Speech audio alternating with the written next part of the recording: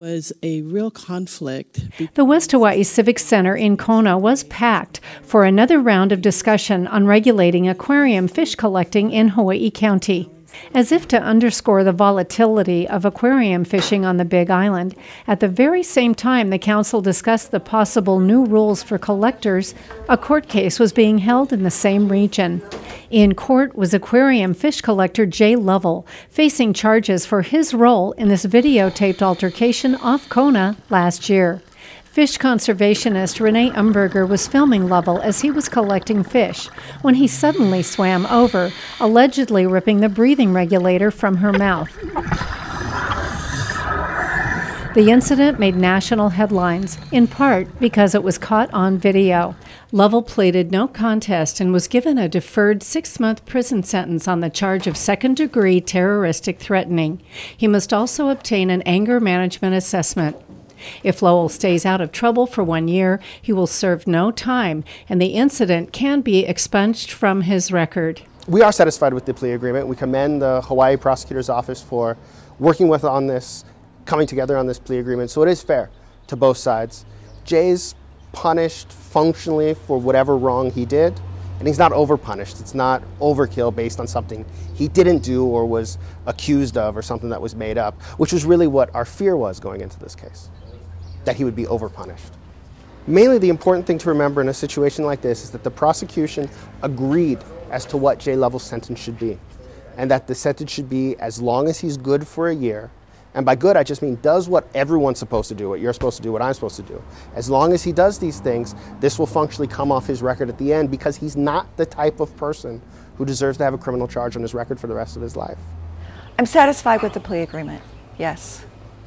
I, I I wish um, uh, in another world uh, we wouldn't have uh, had the hear- uh, hearing wouldn't have been today on the same day that the Hawaii County Council is hearing another um, uh, important laws to regulate the trade.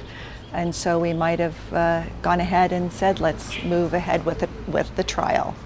But timing, timing is everything. Functionally, what would have happened had this case gone to trial is as the evidence came out, it would have shown that uh, Ms. Umberger and the other people in this case functionally drew the foul in a case like this, and that's not allowed. They came to where Jay was, they were looking for somewhere to cause trouble. And that's why I think the sentence in this case is particularly okay, and quite frankly, I think it's part of the reason why the government agreed to this kind of plea agreement, was to stop that sort of evidence from coming out. Following this in the press, if that's what you did is follow this in the press, you would perceive this as dangerous action to take because the organization which had picked this fishing boat to swim after and to enter their fishing zone, functionally to scare away their fish and who knows what else, released a countless number of statements, went on any number of international news outlets, national media sources, for the purpose of letting you believe this was a very, very dangerous action to take. Yeah, Jay and I have both been catching um, uh, fish for over 30 years. Uh, I started before I graduated from Konawaena in 1979. Uh, um, yeah, we're happy with it. The, the end result here is that um, uh, completing all the requirements of the court, uh, this will basically uh, disappear from Jay's record. The, the court understood that there were a lot of mitigating um, circumstances that caused this incident and they recognized uh, the fact that uh, Jay did not go out, you know, looking for trouble. He did not go seeking these people. Uh, they came and targeted him and looking for him and were responsible and instigated the incident. So the court understood this, and so the agreement that was reached today basically means as long as Jay complies with the court orders, um, everything will disappear from his record. He, uh, it's as if it never happened. So, uh, which is the same thing you would want in court. But this way, he does not have to uh, go. Neither the state nor the prosecution, you know, or the defense has to uh, um, go through all the court proceedings. Um, the end result is, is what we want, is that uh, there's no record. Jay is not guilty of this.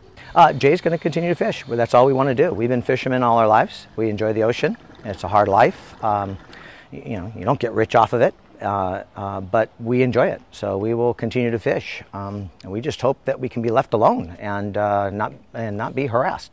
it's it's destructive to the reefs. Uh, every fish collector who's been documented with photo or video um, has been shown to be trampling coral um, it, it, goes hand in hand with the act of fish collecting. Of course, they're removing herbivores that are essential to coral reef health.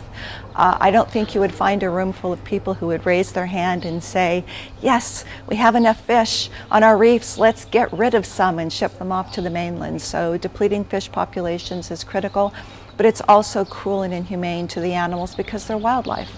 And there are few examples, or probably no examples, of where it's a good idea for a novice or someone with no understanding of the complex needs of a wild animal are able to successfully keep them alive. And it's especially true uh, in this situation because the animals are, are kept in artificial um, environment. So it's, it's that combined with the fragility. So um, there are so many reasons uh, why this trade needs to end.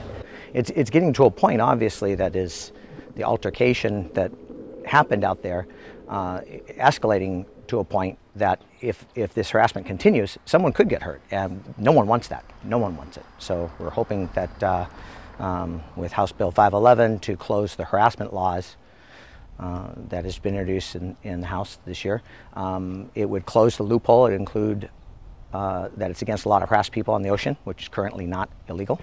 And so we're hoping if we can get that bill passed, then uh, it will prevent incidents like this from occurring in the future. And these people be required to, to leave us alone and not harass us. Fishing's been going, around, going on in Hawaii for generations. Uh, people fish, that's what we do here. Um, uh, contrary to what the activists say, um, the current counts on fish, uh, fish here in Kona, uh, the yellow tang and kole, which comprise our two uh, uh most heavily collected uh, fish, uh, over 93%, their numbers have actually increased 3.4 million fish in the last 15 years because of the ongoing management programs are in place and regulations on our industry.